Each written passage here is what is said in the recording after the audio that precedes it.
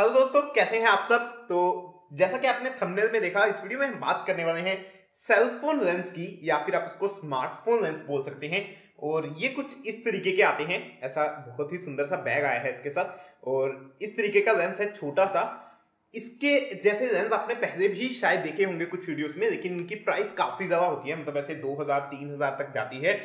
इसकी प्राइसिंग जो आपने थंबनेल में देखा, सिर्फ़ दो रुपए है। तो इसको कहाँ से बाय करना है और क्या ये वर्थ है या नहीं? मतलब दो रुपए के लिए भी अगर अच्छा होगा तभी खरीदने का फ़ायदा है। तो मैंने आपके बिहाफ पर पूरी टेस्टिंग कर दी है। आपको बताता हूँ कि बाय करना चाहिए या नहीं और कहाँ से बाय करना है। वीडियो अच्छा लगे तो लाइक एंड शेयर ज़रूर कीजिएगा और चैनल को सब्सक्राइब कर सकते हैं। अगर पहली बार चैनल पर आए हैं, ऐसी अमेजिंग वीडियोस हम आपके लिए लेके आते रहते हैं। तो दोस्तों, मैं हूँ रजत गोयल। चलिए जल्दी से इस वीडियो को शुरू करते हैं। दोस्तों, सबसे पहले तो आपको बता दूँ कि ये जो लेंस है, ये एक्चुअली में एक अल्ट्रा वाइड लेंस है। मतलब कि 0.4x लेंस है। अगर आप एक नॉर्मल लेंस के ऊपर इसको लगाएँगे अगर आपके फ़ोन में अल्ट्रा वाइड कैमरा नहीं है तो आप इसको यूज़ कर सकते हैं। और मोस्टली फोन्स में जितना मुझे समझ आया है कि फ्रंट कैमरा जो होता है, उसमें अल्ट्रा वाइड एंगल जो है बहुत कम देखने के लिए मिलता है। मतलब रियर में तो आजकल बहुत ज़्यादा आ चुके हैं। 8 मेगापिक्सल या फिर 16 मेगापिक्सल का अल्ट्रा वाइड कैमरा आपको मिल जाता है रियर में। लेकिन फ्रंट में जो अल्ट्रा वाइड कैमरा होता है बहुत कम स्मार्टफोन्स में आपको मिलता है। उसके लिए मेरे हिसाब से परफेक्ट चॉइस है, आप इसको यूज़ कर सकते हैं। लेकिन अगर ये अच्छा काम करता होता, तब मैं ऐसा बोलता। क्योंकि दोस्तों, जो मेरा एक्सपीरियंस है इस लेंस के साथ, सबसे पहले आपको बता दूँ कि अगर आप अल्ट्रा वाइड फ़ोटोज़ देना चाहते हैं या फिर अल्ट्रा वाइड वीडियोस देना चाहते हैं तो इस लेंस को लगाने के बाद वीडियो या फ़ोटो की क्वालिटी जो है वो काफ़ी कम हो जाती है। और एक पंगा जो मैंने नोटिस किया वो ये है कि फोकस नहीं कर पाता फ़ोन अच्छे से। मतलब बहुत कम जगह ऐसी रहती है जहाँ पर एक्चुअली फ़ोन जो है वो फोकस कर रहा होता है। और बाकी सारा एरिया जो होता है आउट ऑफ़ फोकस टाइप होता है, और उतना मज़ा नहीं आता मतलब अगर आप फ़ोटोज़ या वीडियोस लेते हैं।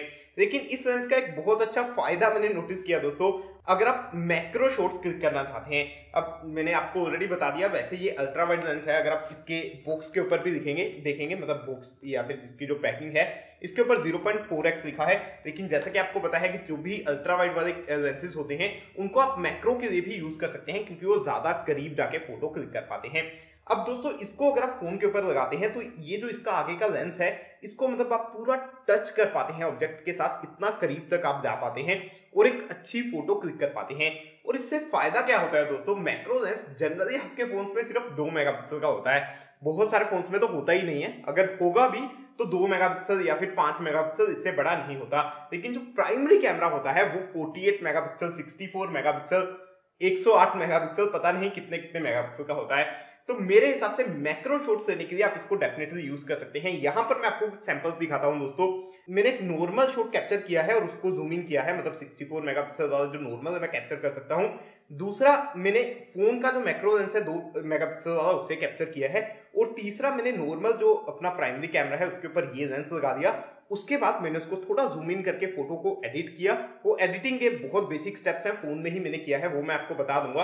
और ये तीन आउटपुट्स आप देख सकते हैं, जो कि मतलब मैंने कैप्चर किए हैं नॉर्मल लाइटिंग में। हालाँकि अगर आप अच्छी बाहर जाके कहीं मैक्रो शूट्स लेंगे तो इससे बेहतर क्वालिटी भी आप दे पाएँगे।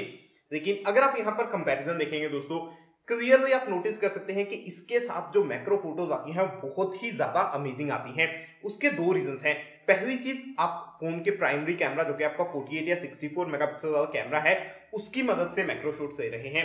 दूसरी चीज़, उसके कलर्स और उसका डेप्थ इफ़ेक्ट बहुत ही ज़्यादा सिनेमेटिक रोल प्ले करता है, जब आप मैक्रो शॉट लेने जाते हैं। नॉर्मल मैक्रो कैमरा जो है, वो बिल्कुल भी डेप्थ इफ़ेक्ट आपकी फ़ोटो में नहीं लेके आता। लेकिन अगर आपको मैक्रो ऑब्जेक्ट के साथ डेप्थ इफ़ेक्ट भी चाहिए अपनी फ़ोटो में उस टाइम ये बहुत अच्छे से काम कर सकता है। लाइव अगर आप देखेंगे यहाँ पर, अभी ये जो आप एंगल देख रहे हैं, ये मैं इसके साथ शूट कर रहा हूँ जब मैंने इस लेंस को अटैच किया हुआ है। अगर मैं इसको उतार देता हूँ तो आपका एरिया जो है बहुत कम हो जाता है दोस्तों। लेकिन अगेन ये चीज़ बोलना चाहूँगा कि अल्ट्रा वाइट के मामले में बहुत कम डिटेल्स कैप्चर करता है। मैक्रो शूट्स के लिए डेफिनेटली आप इसको यूज़ कर सकते हैं, लेकिन अल्ट्रा वाइट में अगर आपको जस्ट दिखाना है, बहुत बड़ी जगह एक रूम आपको दिखाना है, एक अंदाज़ा देना है तो आप इसको यूज़ कर सकते हैं। लेकिन अगर आपको बहुत डिटेल फ़ोटो चाहिए तो अल्ट्रा वाइड के लिए आप इसको यूज़ नहीं कर पाएँगे। तो पहले तो मैं ये बता दूँ कि इसको अगर आप खरीदना चाहते हैं तो मैंने इसको कहाँ से खरीदा है?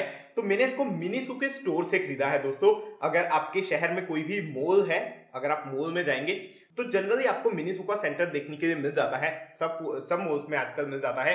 तो वहाँ से मैंने इसको खरीदा सिर्फ़ दो सौ में। और वहाँ पर और भी कुछ लेंसेज थे, जैसे कि फ़िश आई लेंस अगर आप लेना चाहते हैं, वो भी था। हालाँकि उसको मैंने टेस्ट नहीं किया। अगर आप उसकी भी टेस्टिंग देखना चाहते हैं तो नीचे कमेंट्स में बताइएगा, उसको भी मैं परचेस करके ज़रूर से आपके लिए वीडियो बना दूँगा। लेकिन अच्छी चीज़ मुझे ये लगी कि काफ़ी अच्छी पैकिंग है। आपको इसके साथ इसका कवर मिल जाता है, जिससे आप इसको ऐसे लेंस को सेव कर सकते हैं मतलब खराब ना हो। दूसरी चीज़, आपको एक छोटा सा बैग भी दिया है, ताकि आप इसको कैरी कर पाए। तो इस तरीके से आप इसको कैरी कर सकते हैं। अभी के लिए इसको इस तरीके से पैक करके हम रख देते हैं साइड पे। और अभी तक वीडियो को लाइक एंड शेयर नहीं किया तो प्लीज़ अभी वीडियो को लाइक एंड शेयर ज़रूर कर दीजिए। चैनल को सब्सक्राइब कीजिए, पहली बार चैनल पर आए हैं तो ऐसी अमेजिंग टेक वीडियोस और देखने के लिए इस वीडियो को देखने के लिए आपका बहुत बहुत धन्यवाद दोस्तों।